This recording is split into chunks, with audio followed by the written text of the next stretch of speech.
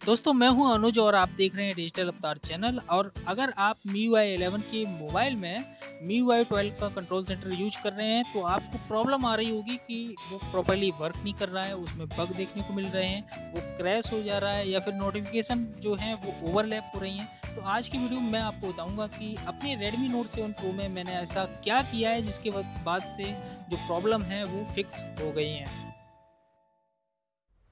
Subscribe कीजिए digital अवतार channel को और बेल आइकन को भी प्रेस कर दीजिए ताकि आपको मिल सके मेरी वीडियोज़ के अपडेट सबसे पहले।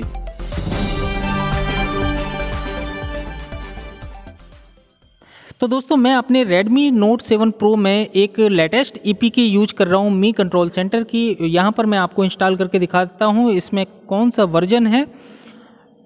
तो ये ए के आपको डिजिटल अवतार टेलीग्राम चैनल पर मिल जाएगी और इसका जो वर्जन है 3.5.5 तो इस वर्जन में काफ़ी जो बग हैं वो फिक्स किए गए हैं।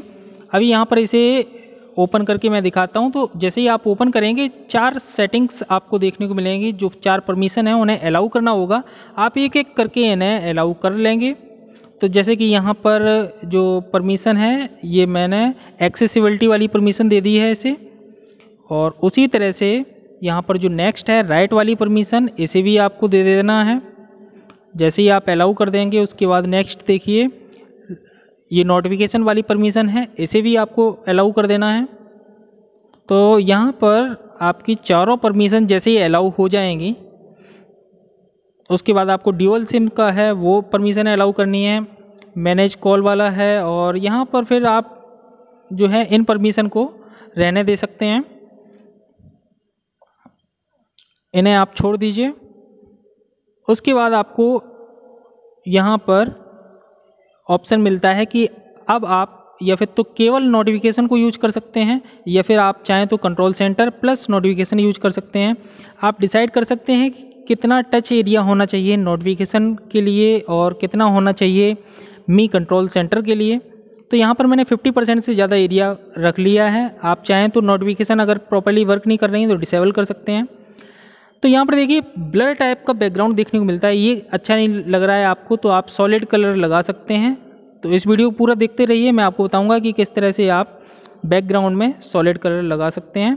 तो यहाँ पर देखिए लेआउट का ऑप्शन है। इसमें आप कुछ सेटिंग्स चेंज कर सकते हैं अगर आप करना चाहें। तो यहाँ पर जैसे कि ये बैटरी वाली एक सर्कुलर बैटरी है या फिर कनेक्शन स्पीड है, इस तरह की परमिशन आप अलाउ कर लेते हैं, और भी अच्छा रहेगा मी कंट्रोल सेंटर में। इसके बाद एक कलर का जो ऑप्शन है, उससे क्या है कि यहाँ पर आपको जो डिफ़ॉल्ट ऑप्शन है, इस पर टेप करना है, और उसके बाद सॉलिड कलर को सिलेक्ट कर लेना है। सॉलिड कलर सेलेक्ट करने के बाद आपको जो ये स्लाइडर दिख रहा है, इसे फुल कर देना है। जैसे ही आप फुल कर देंगे और ओके कर देंगे तो आपका जो ब्लर बैकग्राउंड देखने को मिलता है, जो कि मतलब अच्छा नहीं लगता है। यहाँ पर आपको फिर ये बैकग्राउंड ब्लैक हो जाएगा। और ब्लैक बैकग्राउंड पर ये काफ़ी मतलब ब्यूटीफुल लगता है मी कंट्रोल सेंटर इसके अलावा आपको एक यहाँ पर डायनेमिक कलर का ऑप्शन देखने को मिलता है, जिससे नोटिफिकेशन और भी ब्यूटीफुल हो जाएँगी। तो ये ऑप्शन आप इनेबल कर लीजिए। और एक काम आप कीजिए कि मी कंट्रोल सेंटर के ऐप को आपको लॉक कर देना है। हमेशा ये जब लॉक रहेगा ना तो आप जैसे ही रेसेंट पर क्लियर भी कर देंगे तो ये बैकग्राउंड में रहेगा। बैकग्राउंड में रहने से फ़ायदा ये होगा कि आपका जो मी कंट्रोल सेंटर है प्रॉपरली वर्क करता रहेगा।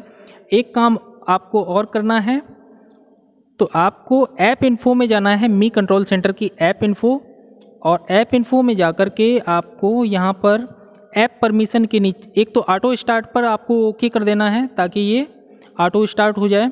और दूसरा ऐप परमिशन के नीचे आपको अदर परमिशन का ऑप्शन देखने को मिलेगा। यहाँ पर जितने भी रेड हो रहे हैं, जो परमिशन नहीं दी गई हैं, उन सबको आपको ग्रीन कर देना है अलाउ कर देना है।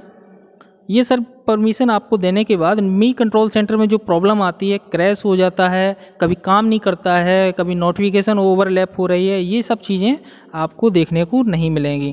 तो यहाँ पर देखिए, एक और परमिशन है, इसे भी आपको जो मतलब बैटरी वाली जो परमिशन है, उसे आपको नो नो रेस्ट्रिक्शन कर देना है। तो ये सारी जो सेटिंग्स हैं, ये Redmi Note 7 Pro पर तो परफेक्टली वर्क कर रही हैं। अगर आपके पास और कोई डिवाइस है, और उसमें आप ये सेटिंग्स करके देखिए, अगर आपको कुछ भी बेनिफिट मिलता है तो मुझे बताइए कमेंट में।